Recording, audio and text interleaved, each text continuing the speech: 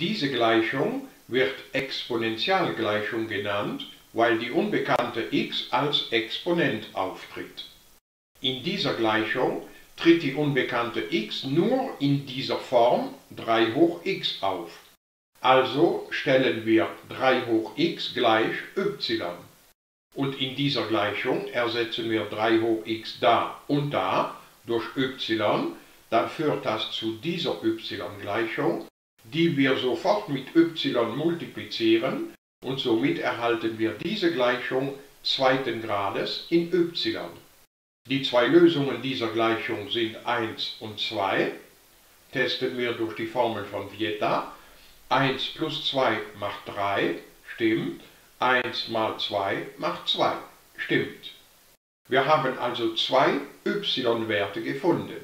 Aber Vorsicht, die Übung ist nicht beendet denn nicht y wird gefragt, sondern x. Also nicht vergessen, back to x. Der erste Fall y gleich 1 führt zu 3 hoch x gleich 1.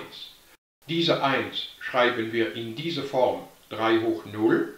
Und jetzt haben wir eine Exponentialgleichung der einfachen Art Potenz gleich Potenz mit derselben Basis.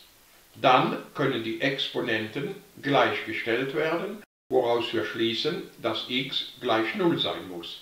Eine Lösung haben wir gefunden. Jetzt schauen wir noch den zweiten Fall. Wenn y 2 ist, dann bedeutet das, dass 3 hoch x 2 ist. Also so. Hier haben wir nicht links und rechts dieselbe Basis, es ist aber eine Exponentialgleichung, also können wir hier einen Logarithmus einsetzen. Ich habe den natürlichen Logarithmus gewählt. Es muss aber nicht unbedingt der natürliche sein. Wenn diese Zahl, die streng positiv ist, gleich zu dieser streng positiven Zahl ist, dann muss ln von der ersten dasselbe sein wie ln von der zweiten Zahl. Somit haben wir diese Gleichung und jetzt kommt die Wirkungskraft von einem Logarithmus, dieser Exponent darf vor den Logarithmus multiplizieren, und zwar durch diese Logarithmus-Eigenschaft. Der Exponent b darf nach vorne, wo er multiplizieren wird.